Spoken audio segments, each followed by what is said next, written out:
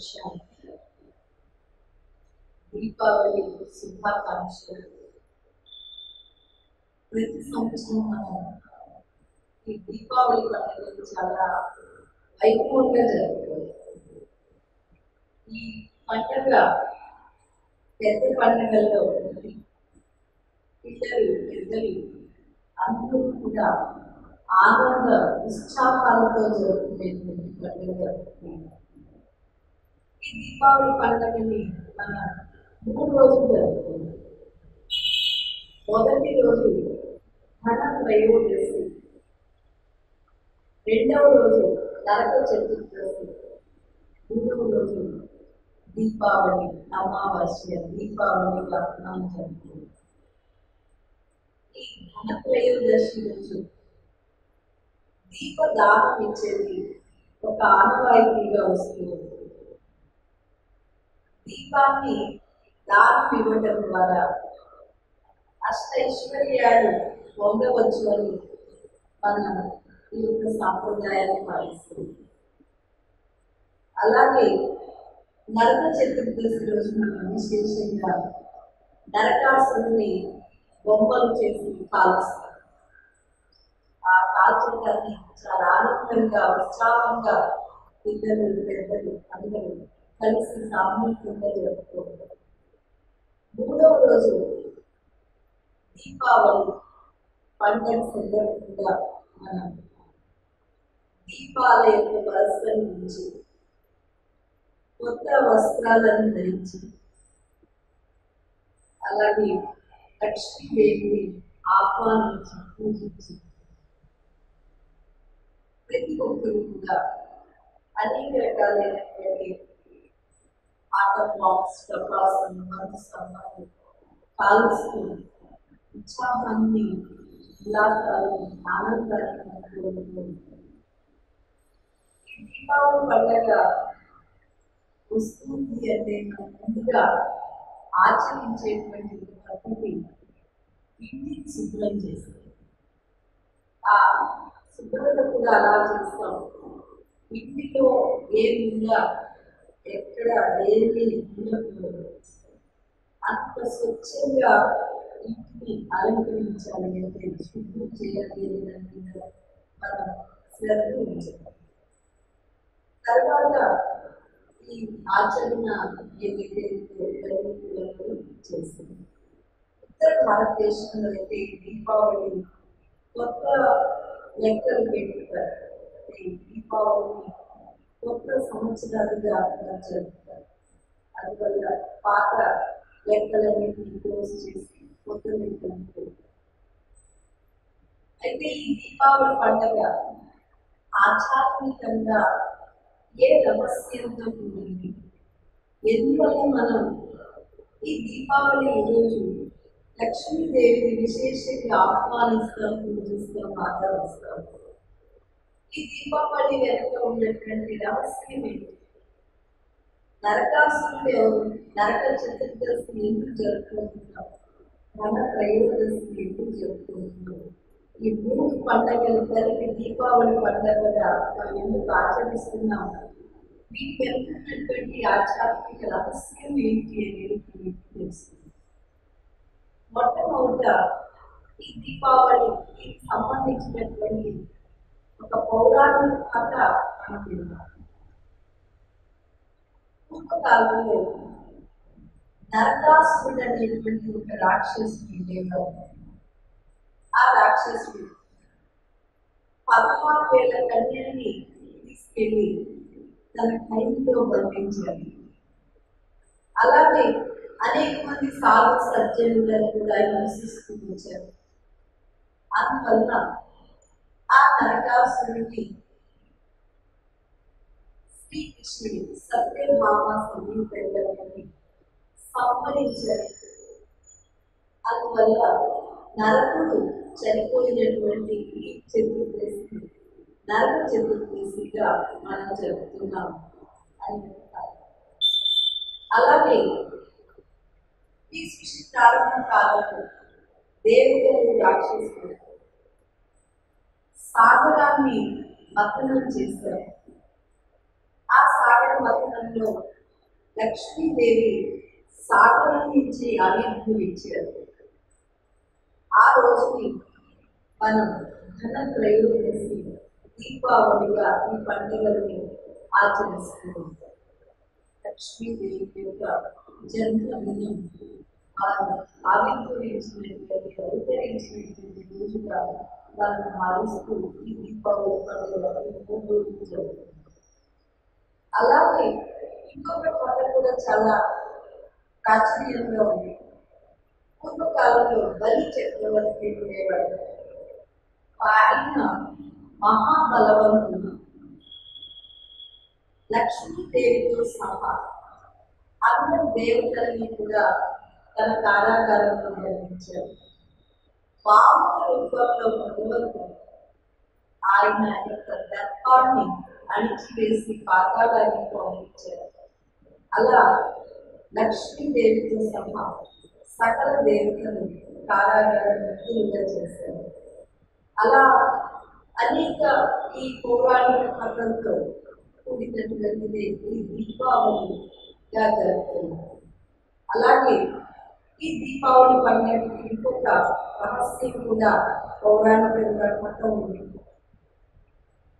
విజయదశమి రోజు రాము పది తలల నుండి సంహరించారు ఆ తర్వాత ఈ దీపావళిలో అయోధ్య నగరానికి ఆయన తిరిగి వచ్చారు రాజ్య సింహాసనాన్ని అధిష్ఠించారు అలా రామ రాజ్యాన్ని ప్రారంభమైనటువంటి సందర్భంగా దీపాలతో అలంకరించారు కాబట్టి దీపావళిగా జరిపే కథ కూడా ఈ అన్ని పౌరాణిక కథల్ని మనం చూస్తే దీనంతటిలో కూడా ఒక నిపుణమైన ఆధ్యాత్మిక వస్తుంది ఏ విధంగా భగవంతుడు భగవద్గీతలో మనకి వర్ణించారు? కామ క్రోధ మోహ లోభ అహంకారం నరక ద్వారం నరకము అంటే దుఃఖానికి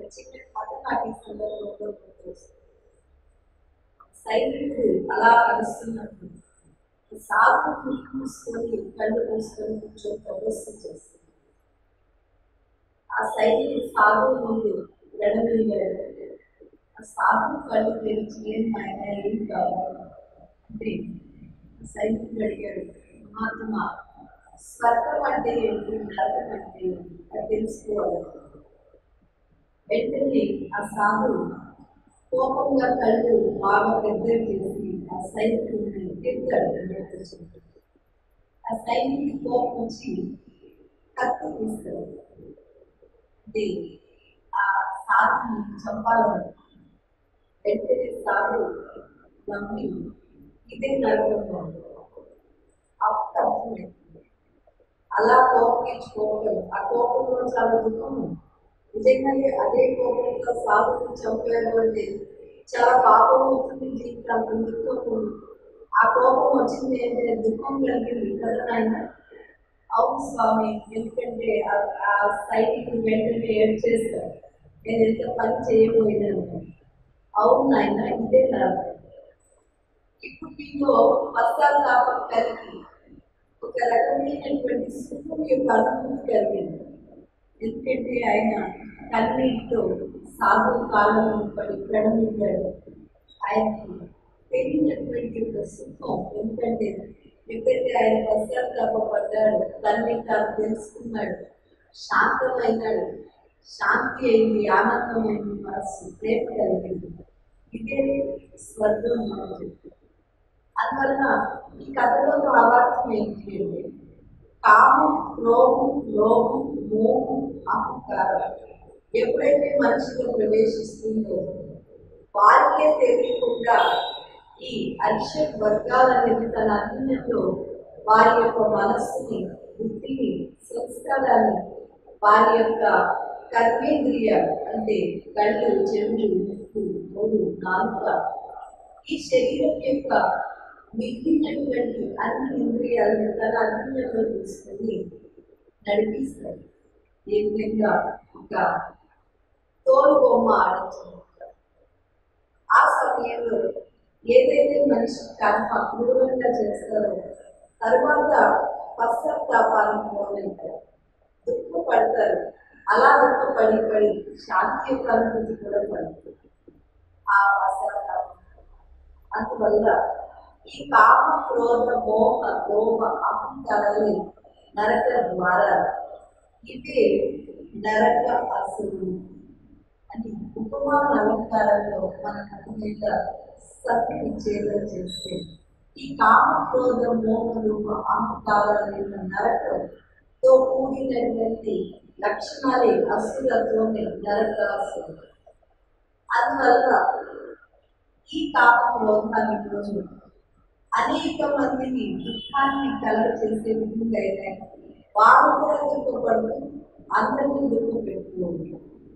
అందువల్ల ఈ కథ యొక్క రహస్యాన్ని మనం గమనిస్తే కృష్ణుడు అనేటువంటి ఒక అర్థం నిరాకారుడైన పరమిత పరమాత్మ శివుడికి వర్తిస్తారు భగవంతుడిని కృష్ణుడు అంటే సుఖాన్ని ఇచ్చేవారుగా మనం చెప్తాం. సుఖ సాగరుడు అంటాం.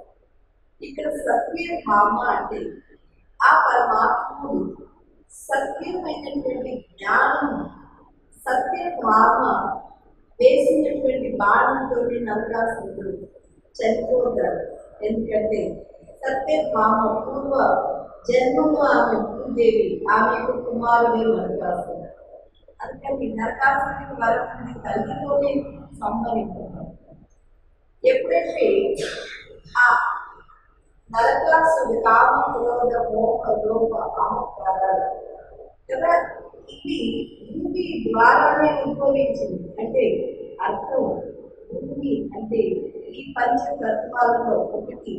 ఈ శరీరం తయారైంది ఈ యొక్క మట్టి ద్వారా. అంటే మనం చెప్తాం మట్టి ద్వారా తయారవుతుంది మట్టిలోనే అది కలిసిపోతుంది అని కాబట్టి జన్మ ఈ మట్టి ద్వారానే తయారైంది మట్టిలోనే కలిసిపోతుంది అందుకని భూమి యొక్క భక్తులు భూమి ద్వారానే సంబంధింపబడతారు అని ఈ యొక్క మొదలు ఈ యొక్క రహస్యంతో కూడినటువంటి ఒక శాపాన్ని వర్ణించారు ఇక్కడ సత్య భామ అంటే పరమాత్ముడు సత్య జ్ఞానాన్ని ఎప్పుడైతే తెలియజేస్తారు ఇక్కడ భూమి మట్టి అని మనం ఇప్పుడు వరకు చెప్పుకోవచ్చు. ఎప్పుడైతే ఈ కనిపించే శరీరము మట్టి దీన్ని నేను అనుకుంటే కామ క్రోధ మోహలు అహంకారాలు చేసి అసలు అంటే నరక ద్వారంలో నెట్టబడతారు అందువల్ల భగవంతుడు సత్య జ్ఞానాన్ని తెలియజేస్తున్నాడు. ప్రతి ఒక్క నర నారి ఈ కనిపించే మట్టి కాదు. ఈ మట్టి లోపల ఒక చైతన్యమైనటువంటి దీపం ఉంది.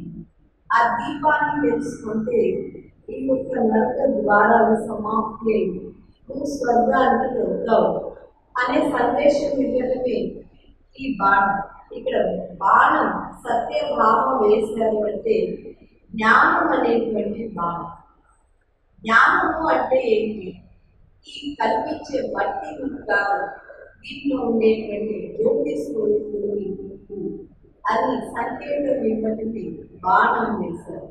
ఈ బాణం ద్వారానే కామ క్రోధ మోహ లోప అహంకారమైన అసురత్వం సంహరింపబడుతుంది అందువల్లే నరకాసురుణ్ణి అనేక ఆటోబాబులతో కాలుస్తారు. ఆ బొమ్మలో తలలో ఏదైనా అలాంటి ఆట బాంబు పెడతారు. మొత్తం కాళ్ళు చేతులు అన్ని బొమ్మలో భాగంలో అన్ని బాగుంది పెట్టి కాలుస్తారు. ఇది నరక చతుర్దశి యొక్క ఆధ్యాత్మిక రహస్యం. అలాగే సముద్ర మధురం నుంచి లక్ష్మీదేవి ఉద్భవించింది ఎప్పుడైతే పరమాత్మ ఈ సృష్టిలో అవతరించారు చెప్తారు కదా ఈ సృష్టి అంధకారమయంగా అయిపోయింది మన అన్ని పురాణాల్లో కూడా చెప్తారు ఈ సృష్టి ఉండాల్సిన విధంగా ఎప్పుడైతే లేదు అప్పుడు ఒక జ్యోతి ఉద్భవించింది ప్రణవ స్వరూపం ఆ ప్రణవ స్వరూపమైనటువంటి ఆ జ్యోతి జ్ఞానాన్ని అందరికీ ప్రసాదించారు ఈ యొక్క జ్ఞానం తెలుసుకోవటమే సాగరాన్ని చెప్తారు ఈ సాగరం నుంచి లక్ష్మీదేవి ఉద్భవించారు అంటే వారి యొక్క దైవత్వాన్ని తిరిగి వారు పొందారు అని అర్థం. అందువల్ల దీపావళి అమావాస్య రోజు లక్ష్మీదేవి వస్తారు అంటారు ఎక్కడైతే నాలుగు వైపుల అమావాస్య అంటే చీకటి ఉందో అక్కడ లక్ష్మీదేవి వచ్చారు. అంటే ఈ సృష్టి పూర్తి చీకటి ఇదే చెప్తారు కదా. తమసోమ జ్యోతిర్గమయ. తమస్సు చీకటిలో ఉండే వారికి జ్యోతిని చూపించండి ఇక్కడ ఒకటైంది మనకి రోజు వచ్చే చీకటి వెలుగు సూర్యాస్తమయం సూర్యోదయం. రెండవదైతే అజ్ఞానం యొక్క చీకటి జ్ఞానం యొక్క వెలుగు ఇక్కడ మనకేం చెప్తారు? తమసోమ జ్యోతిర్గమయ. చీకటి తమస్సులో ఉన్న వారికి జ్యోతిని చూపించండి. అంటే ఆ జ్ఞానం అనేటువంటి చీకటి నుంచి జ్ఞానం అనే ప్రకాశం అందువల్ల పరమాత్మ ఈ సృష్టి ఎప్పుడైతే ఎలా ఉండాలి అలా లేనట్టు జ్ఞాన జ్యోతిని మరలా ప్రకాశింప చేస్తారు. దాంట్లో నుంచి వారు మళ్ళా దైవత్వాన్ని పొందుతారు లక్ష్మీదేవిని మనం దివ్య గుణ సంపన్నురాలుగా అభివర్ణిస్తాం. సుందరతకి ఒక రూపం అలాగే అన్ని దివ్య గుణాల యొక్క స్వరూపమే లక్ష్మీదేవి. అందువల్ల భగవంతుడు ఎప్పుడైతే సృష్టిలో అవతరించారో పూర్ణ రూపుడు అని మళ్ళీ చెప్తారు తన యొక్క పూర్ణ రూపాలతో ఉండేటువంటి దైవత్వం అనేటువంటి వారిగా సృజించారు. అలాంటి వారి శ్రీ లక్ష్మీదేవి దేవత అన్ని గుణాలలో సంపన్నురాలు. అందువల్ల ఈ లక్ష్మిని అష్టలక్ష్మి స్వరూపంగా భావిస్తారు. అష్టలక్ష్మి రూపాల్లో పూజిస్తారు కేవలం ఒక ధన ఇచ్చే వారే కాదు లేదా వస్తు వైభవాలు రాజ్యాన్ని ఇచ్చేవారే కాదు. ధైర్యాన్ని కూడా ఇచ్చేవారు. సద్గుణాలను కూడా ఇచ్చేవారు. అందుకని ధైర్యలక్ష్మి అంటాం సంతాన లక్ష్మి అంటాం. ఇలా గజలక్ష్మి వరలక్ష్మి ఇలా అనేక లక్షణ రూపంలో మనం లక్ష్మీదేవిని పూజిస్తాం. అన్ని లక్షణాలతో సంపన్నంగా ఉండేటువంటి వారే లక్ష్మీదేవి. అయితే ఇక్కడ అంధకారంలో నుంచి లక్ష్మీదేవి ఉద్భవించారు. అనే దానికి ఇంకొక చిన్న విషయం కూడా ఇక్కడ మనం తెలుసుకుందాం. లక్ష్మీదేవిని గోలాసుల మర్దినిగా పూజిస్తారు. ఆమె గోలాసురుడు అనే రాక్షసుని సంహరించారు. ఆ గోలాసురుడు ఎవరు అంటే ఆయన చాలా ధైర్యశాలి పరాక్రమశాలి ఈ సృష్టిలో మూడు లోకాల మీద విజయం పొంది ఆయన రాజ్యాన్ని స్థాపించారు. ఆయన అలా స్థాపించి ఆయన బల పరాక్రమాలు ఐశ్వర్యంతో ఆయన వర గర్వితుడై లక్ష్మీదేవి దగ్గరికి వస్తాడు. లక్ష్మిని తన వశంలో ఉంచుకోవాలి. అయితే లక్ష్మీదేవి చెప్తారు సరే అలాగే ఉంటాను. కానీ నన్ను మీరు మీ తల మీద పెట్టుకోండి అని.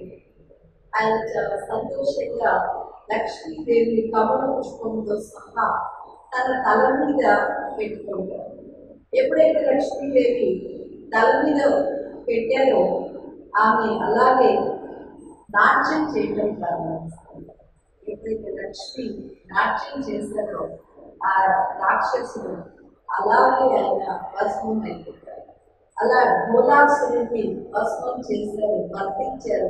డోలాసురు మర్తింది అంటే దీంట్లో వాస్తవిక రహస్యం ఏంటంటే ఎప్పుడైతే ఒక వ్యక్తి తన పూర్వజన్మ మంచి కర్మ ఫలంగా అలాగే తన ప్రయత్నంకు ఫలంగా వారు ధనంలో ఐశ్వర్యంలో విద్య అలాగే ఆరోగ్యం పరాక్రమం అన్నింటిలో ఎప్పుడైతే సంపన్నం అవుతారో విద్యావంతులు అవుతారు ఐశ్వర్యవంతులు అవుతారు పరాక్రమవంతులు అవుతారు ఇలా అన్ని అష్టైశ్వర్యాలు ప్రాప్తి చేసుకున్న తర్వాత ఒకవేళ గర్వము అనేది వచ్చింది అంటే డోలాసుడు అంటే మనం చెప్తాం డోలా అంటే లోపల ఖాళీ ఉంది. లక్ష్మీదేవిని మూలాసుని మధ్యని అని అందువల్లనే చెప్తారు. ఎప్పుడైతే ఒక వ్యక్తికి ఐశ్వర్యం లభించింది పరాక్రమం ఉంది అలాగే విద్యావంతుడు కూడా అయినారు. అన్ని ప్రకారాల అష్టైశ్వర్యాలు లభించిన తర్వాత. చెప్తారు కదా వీరికి అహంకారం ఎత్తికెక్కింది అంటారు. ఎప్పుడైతే ఆ యొక్క అహంకారం అనేది పెరిగిందో లక్ష్మీదేవి తల మీద నర్తించటము తల మీద ఎక్కించుకోవటము అంటే అదే అర్థం. అహంకారాన్ని నెత్తిన పెట్టుకుంటారు అలాంటప్పుడు లక్ష్మీదేవి వర్తన చేస్తుంది అహంకారం. చెప్తారు ఎక్కడైతే కామ క్రోధ మోహ లోభ అహంకారాలు ఉంటాయో అక్కడ లక్ష్మీదేవి నివసించదు. అందువల్లనే దీపావళి రోజు మనం అందరం కూడా స్థూలమైన శుభ్రతనైతే పాటిస్తాం. అయితే ఇలా ప్రతి సంవత్సరం కూడా ఇంటిని శుభ్రపరిచిన తర్వాత కూడా ఎందువల్ల లక్ష్మీదేవి మన ఇంట్లో నివసించడం లేదు? లక్ష్మీదేవి అంటే ఒకటి ధనమే కాదు. మనం కేవలం ధన రూపంలోనే ఆమెను చూడకూడదు. సకల సద్గుణాలు అంటే ఇంట్లో శాంతి ఆనందం సుఖం అలాగే విద్య అలాగే విశ్రాంతి పరస్పరము ఒకరికొకరిలో ఒక ఆప్యాయత అనురాగం నిజమైనటువంటి ప్రేమ ఇలాంటివన్నీ సంపన్నంగా ఉండటమే లక్ష్మీదేవి ఆ ఇంట్లో ఉండడం. ఎప్పుడైతే ఈ యొక్క అహంకారం వచ్చేసిందో డోలా అంటే ఖాళీ స్థలం అన్నారు. ఇక్కడ డోలాసులు అంటే అన్నీ ఉన్నాయి కానీ ఖాళీ ఖాళీగా ఉంది. అహంకారం అక్కడ వచ్చేసింది. అందుకని మూలాసులు ఉంటారు ఇలాంటి అహంకారాన్ని ధ్వంసం చేశారు కాబట్టి లక్ష్మీదేవి. ఆ అమావాస్య చీకటిలో వచ్చారు అంటే ఇక్కడ స్థూలంగా అమావాస్య చీకటి కాదు కానీ ఇలాంటి అహంకారంతో ఈ సృష్టిలో ఎప్పుడైతే వ్యాపించి ఉంటుందో లక్ష్మీదేవి వచ్చారు. అంటే ఆ అహంకారాన్ని సమాప్తం చేస్తుంటారు అందువల్ల మనం లక్ష్మీదేవిని ఆహ్వానిస్తూ దీపాలను వెలిగిస్తాం. ఆ దీపాలను కూడా వెలిగించేటప్పుడు భక్తులు మనం పాటిస్తాం. ఒక పెద్ద దీపాన్ని వెలిగిస్తారు ఆ దీపం నుంచి అనేక దీపాల వరసలు వెలిగిస్తాం.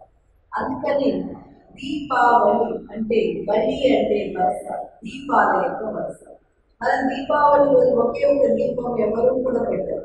కనీసం ఆరు దీపాలు లేదా ఇంకా ఎక్కువ ఎక్కువ దీపాలు పెట్టరు. అందువల్ల లక్ష్మీదేవి మన ఇంట్లో నివసించాలి అంటే ఈ మట్టి ప్రమిదతో ఉండేటువంటి దీంట్లో మనం నెయ్యి వేసి లేదా మంచి నూనె నూనె వేసి ఒత్తితో కూడినటువంటి దీపం వెలిగించడంతో పాటు ఈ శరీరం అనేది ఒక మట్టి. దీంట్లో మనం జ్ఞానం అనేటువంటి ఒక ఒత్తితో యోగము అంటే ఆ భగవంతుడిని తలుచుకునేటువంటి ఆ నెయ్యిని నూనెని పోసి వెలిగించినప్పుడు మన ఆత్మ జ్యోతి వెలుగుతుంది దీని ద్వారా మనలో ఉండేటువంటి కామ క్రోధ మోహం లోప అహంకారం అనే మూలాసురుని మనం సంపాదించుకోగలుగుతాం. అప్పుడు మన దగ్గర లక్ష్మీదేవి నిజంగా స్థిరమైన నివాసం ఉంది అందువల్ల ఈ దీపాన్ని వెలిగించేటప్పుడు మనందరం కూడా శ్రద్ధ వహిస్తాం. ఆ దీపం కొంచెం కూడా కదలకుండా ఏకాగ్రతగా వెలగాలి అలాంటి దీపమే లక్ష్మీదేవిని ఆకర్షిస్తుంది. అందువల్ల మనం మానసికమైన ఏకాగ్రత ఆ భగవంతుడిని మాత్రమే ఉంచుకుంటూ మన మనసు ఉజ్వల ప్రకాశంతో ప్రకాశిస్తుంది.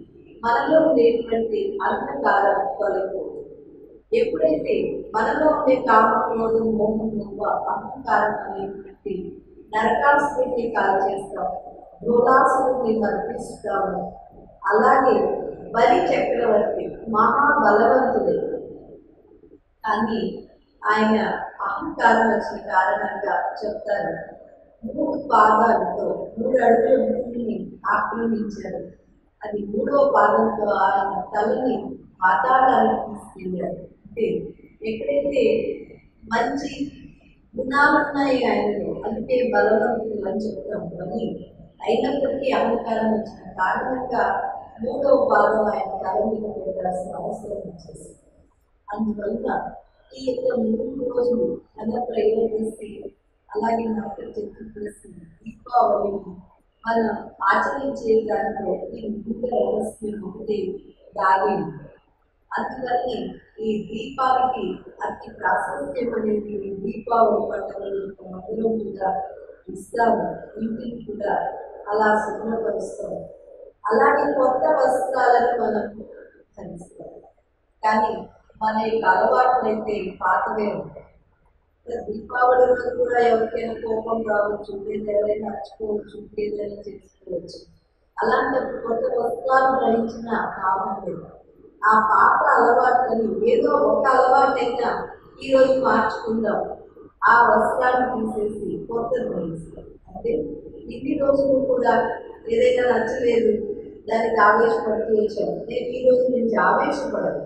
నచ్చలేదు వదిలేస్తాను అనే ఒక కొత్త అలవాటుని మనం వేసుకునే కొత్త వస్త్రాలు ధరించేదానికి మనం ప్రయత్నం మనం అందరం చేస్తాం ఇలాంటివన్నిటిని మనం ఆచరించినప్పుడు మన ఇంటిని అష్టలక్ష్మీమయంగా అన్ని అష్ట ఐశ్వర్యాలతో మన ఇంటిని మనం తయారు చేసుకోవచ్చు. మన ఇంటిని సుఖ శాంతులతో ఎందుకంటే లక్ష్మీదేవి ఎక్కడున్నారు అంటే అక్కడ ఇప్పుడు కేవలం ఐశ్వర్యమే కాదు సుఖము శాంతి ఆనందం ప్రేమ ఇవన్నీ ఉన్నాళ్ళలో ఉండేటువంటి ఇల్లు లక్ష్మీదేవి ప్రియమైనది లక్ష్మీదేవి స్థిరమైన నివాసం అని మనందరం కూడా తెలుసుకొని అలా ఈ దీపావళిని జరుపుతాం చూడండి నరక చతుర్దశి నరకాసుని చంపారు అని చెప్పి అప్పటి నుంచి ఈ దీపావళి రోజు నరక చతుర్దశి రోజు మనం అనేక రకాలైనటువంటి తపాసులు కాలుస్తాం. ఈ టపాసులు కూడా మనం ఎందుకు కాలుస్తాం? చూడండి ఇప్పుడు మన కాకర పువ్వు కాలుస్తాం. కాకర ఒత్తి కాల్చినప్పుడు అది చిట్టపట్టలాడుతుంది ఆ చిట్టపట్టలాడినప్పుడు చూసి ఆనందిస్తాం. అయితే భగవంతుడు చెప్తున్నారు మీరు ఆ స్థూలమైన కాకర కొట్టిని కాల్చి ఎలా చిట్టపట్టలాడుతుంది సంతోషపడతారు. మీ మనసు చిరాకు చిట్టపట్టలాడేది కూడా కాలుస్తూ మీరు సంతోషపడండి. అప్పుడు మీకు పూర్తి లోపల నుంచి సంతోషం అలా చిచ్చుకుంటే మనం కాలుస్తాం. చిచ్చుకుంటే ఏం చేస్తుంది? అది అంటుకున్నట్టు చూసుకొని పైకి వెళ్ళిపోతుంది. ఏదైనా ఎవరిదైనా ఇంట్లో సభ్యులకి నచ్చలేదు. వెంటనే ఏ విధంగా కుక్కలు విజిల్లాగా తీసుకొని బయట పేరేస్తారు మాట్లాడేస్తారు గబగబా ఏదైతే మనకు వస్తుంది అది ఆలోచన కూడా లేకుండా. దీనివల్ల ఇంట్లో సంబంధాలు చెడిపోతూ ఉంటాయి.